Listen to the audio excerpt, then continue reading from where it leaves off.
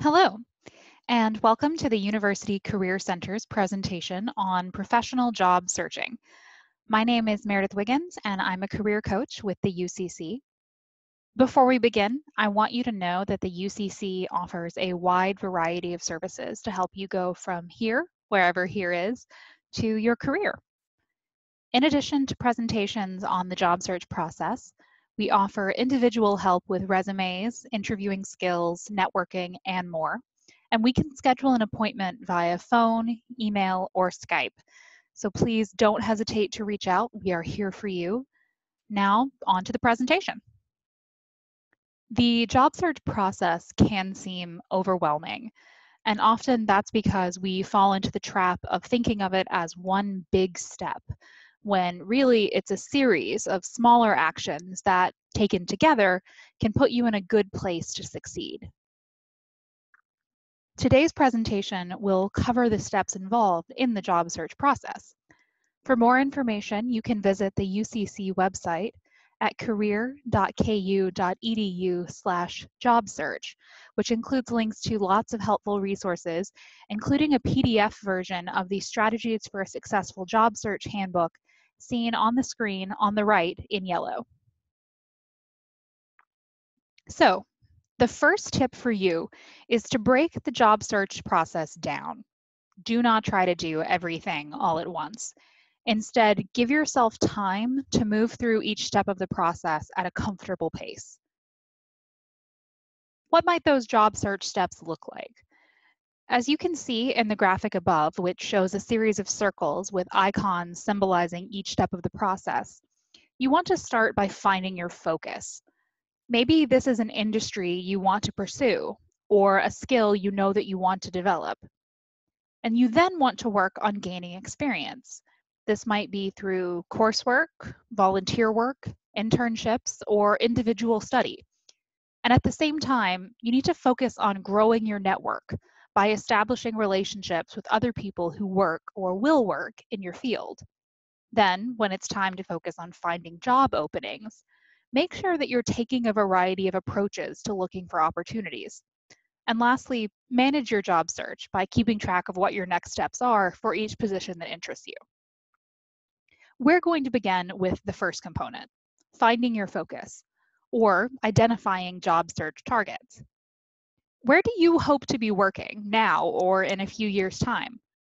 What sorts of fields are of interest to you? Take a minute to brainstorm what that might look like. And if you're feeling unsure of where to start, try thinking about what you're good at, what your talents are. You can then translate these into keywords and convert keywords into job titles. The yellow booklet featured on an earlier slide has a nice guide for how to do this. When you thought about finding your focus, what came to mind? Focus can be as broad as a general sense of a field that might interest you, or as specific as a particular type of job at a particular type of employer in a particular geographic region.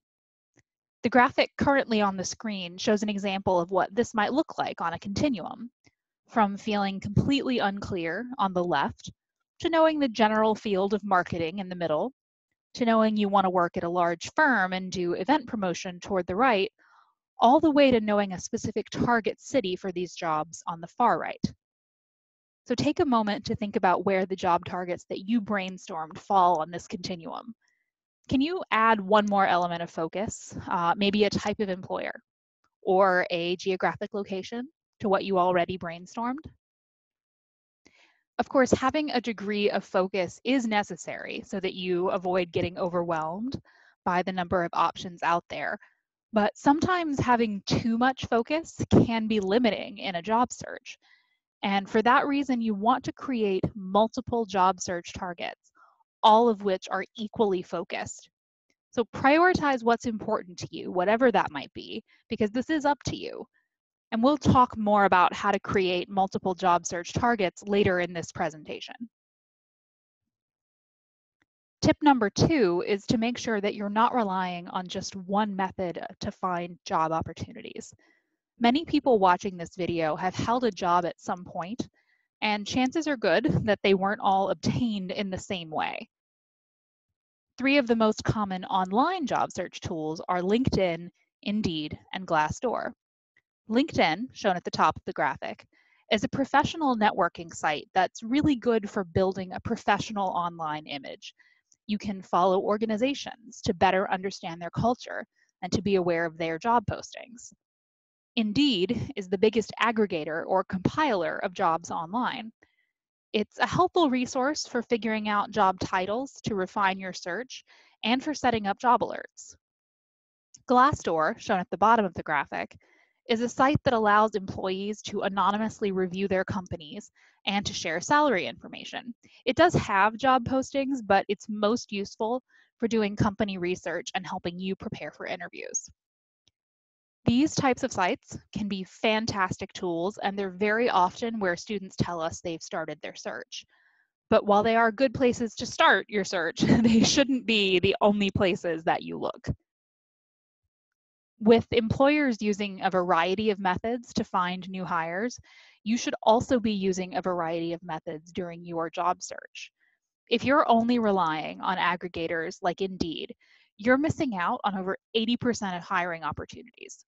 As you can see from the career crossroads pie chart on the screen, the most common way that people find jobs is through referrals at 22%. This means they know someone who suggested that they might be a strong fit for the position. And in fact, several of the other slices of the pie shown on screen, like recruiter initiated, current employees, intern conversions, and former employees, are really examples of referrals via networking and connections. In fact, a 2019 survey by the National Association of Colleges and Employers found that employers rated career fairs, campus info sessions, and building relationships with relevant faculty as some of the most impactful ways to recruit new hires.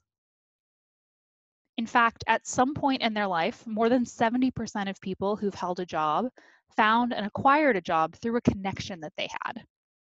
So, how do you go about building those connections? That leads us directly to tip number three network, network, network. You've probably heard this before, I'll, I'll bet some of you don't like the idea. So let's reframe it. Cultivate relationships. Networking is not about asking people you don't know for favors. It's about building relationships with people who'll be your future colleagues. It's important to identify individuals currently in your network and also to make new connections with people in your area of interest. So thinking of your specific job target, make a list of people from your own network who would fit each category shown on the screen. Friends, family, classmates, faculty, alumni, and supervisors. And don't forget that it's important to spend time building these relationships outside the realm of your immediate job search. because the first question you ask someone should not be, Will you recommend me for this job? The current slide shows examples of ways you can build relationships outside the immediate job search process. For example, you might stop into a professor's in person or online office hours, or email a formal, excuse me, a former supervisor with an update about your life at KU you need to take the time to demonstrate that you are a thoughtful, informed, and likable person before you need someone's help getting a foot in the door. To that end, you should consider setting up some informational interviews. Informational interviews are not job interviews. You are not asking someone to employ you in these interviews. Instead, the purpose is for you to gather information about a certain type of job, a specific organization, or a line of work. You can Google a good list of questions if you're at a loss for where to start, but some examples will include what's a typical day like here? Or what are your main responsibilities in this role? Informational interviews are brief 15 to 20 minute interactions often held in person, but also via phone, Skype, Zoom, or email. Ideally, the conversation will carry on longer, 30 minutes to an hour, but don't assume that they have the time. When you reach the 20 minute mark, notice your interviewer's body language or verbal cues and gauge from there whether they're available to keep talking. You can also use these informational interviews to ask for referrals to other professionals in the field that you're interested in by saying something as simple as, do you know anyone else that you think I should get in touch with? And remember, it is not a job interview, so do not ask for a job. However, if an opening arises in the future, you might now have a closer connection than you did at first. And finally, always remember to send a thank you note and to maintain contact. LinkedIn is a great way to find professionals to add to your network and learn more about fields that interest you. So on the screen, you can see an example of the University of Kansas LinkedIn Alumni Tool, which is a school-specific search tool that allows you to sort through the profiles of more than 100,000 KU alumni, showing common results across fields like geographic location on the left, employer in the middle, and type of industry on the right and you can sort by other fields as well. In the example on the screen, a student typed the search terms social work, community and social services, and Lawrence, Kansas area into the search bar, looking for alumni working in community and social services in the Lawrence, Kansas area. And in the left column, geographic location, the circled result in red shows that there are 76 results that match these criteria. The middle column shows specifically where those 76 people work. And if you scroll further down the page, you can see the specific profiles for those 76 alumni. This tool isn't only for finding alumni to connect with, though. It can also be used to figure out what people have done with different majors, who employs graduates from the University of Kansas, what sorts of skills they have, and so on. The KU mentoring platform found at mentoring.ku.edu functions very similarly to the LinkedIn alumni tool, making it possible for you to search for networking connections by major, industry, group affiliation, even by where you lived on campus. The main difference between these platforms is that all the alumni in the mentoring platform have already agreed to be contacted for networking purposes. So don't be afraid to ask them. In the image on the screen, the blue majors button is highlighted because the user searched by major. The search was for art majors, returning the four profiles on the screen and others that you could potentially connect with. Tip number four addresses one of the most common mistakes in a professional job search, not letting your network know what you're looking for. Start with that list of people in your network who are connected to your job search target, but be broad it's their connections who are going to help you because typically it's those second or third level connections that end up being the most helpful. Remember, your friends have family members and classmates and faculty. And your faculty have family and alumni and friends. And your family have classmates and alumni and friends. And alumni have classmates, friends, and families. And once you've built relationships that demonstrate that you're a trustworthy person who's not going to waste their time, most people will be happy to refer you on to others that they know. So tip number five is to make sure that you're not narrowing your focus so much that you're missing out on great opportunities. Remember the job focus spectrum that we previewed earlier in the presentation? You want to aim for a few different specific focuses by prioritizing what's important to you.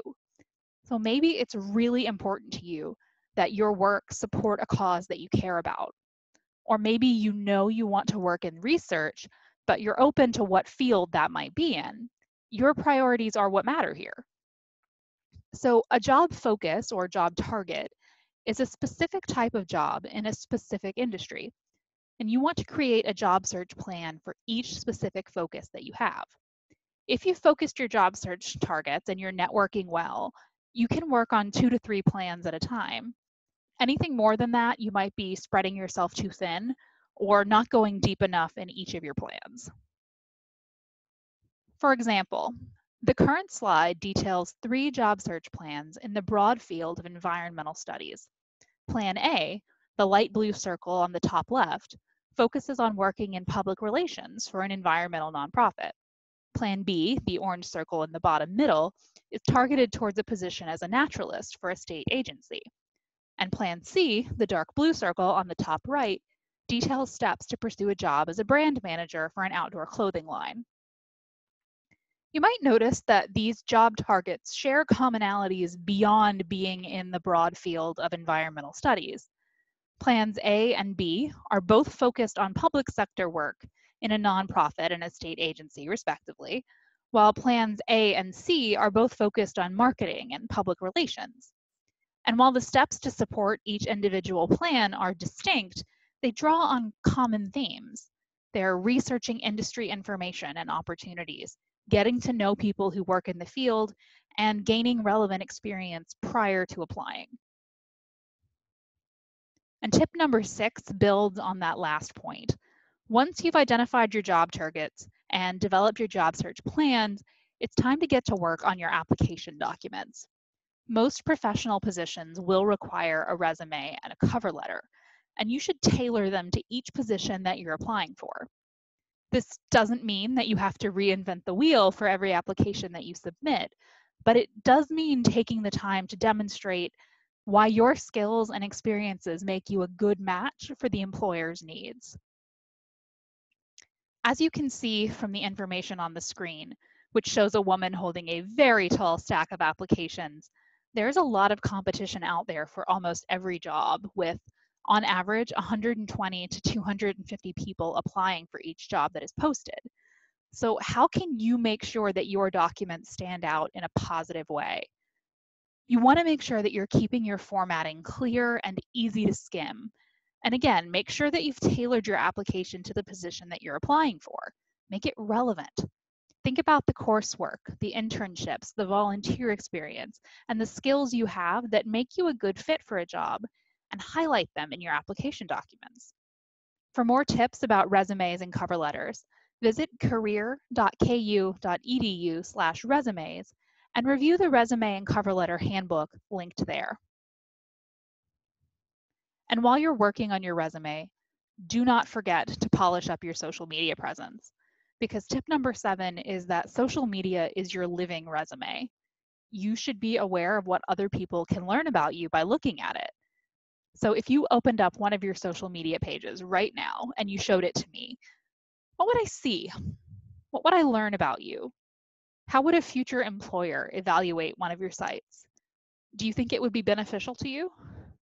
Do you wish you could uh, erase the entire site to keep them from seeing it? Spend some time looking at your social media with a critical eye and make sure that it's accurately representing who you are and who you want to be because according to a 2018 survey conducted by CareerBuilder, 70% of employers were using social media to screen their candidates, with another 7% planning to start doing so soon. And of that 70%, more than half of them found information that led them to not hire a candidate. So, what are employers looking for when they search for you online? As you can see from the bottom right of this slide, just over one fifth are looking for a reason not to hire the candidate. And just over a third are wondering what other people are posting about a candidate online. Half are checking whether the candidate has a professional online presence at all, and nearly 60% are looking for information that supports a candidate's qualifications for the job. For example, if you were applying for a job with a company that had a strong commitment to environmentally friendly practices. Following environmental groups on LinkedIn would be one way that you could demonstrate your commitment to a more sustainable world and your fit for the job itself. And finally, tip number eight, make sure that you are behaving with courtesy and professionalism both during and after the job search process. Because if someone offers you their time and their help, you need to make sure to keep in touch and to follow up with them if they reach back out. Beyond being good manners, this is also really good practice for interacting with your future colleagues. This slide shows two people shaking hands while others look on in the background. And I think it's a good reminder that your professionalism and courtesy are always being evaluated. You, you never know who might refer you to your dream job. And as we saw on an earlier slide, 22% of jobs are filled via referrals. You need to build authentic relationships and make sure that you're not burning bridges. We in the UCC are happy to help you build a job search plan that's tailored to your interests and your needs, so please don't hesitate to reach out to us. You can schedule an appointment on hirejayhawks.com or via phone at 785 864 3624. Thank you for attending this presentation, and we hope to hear from you soon.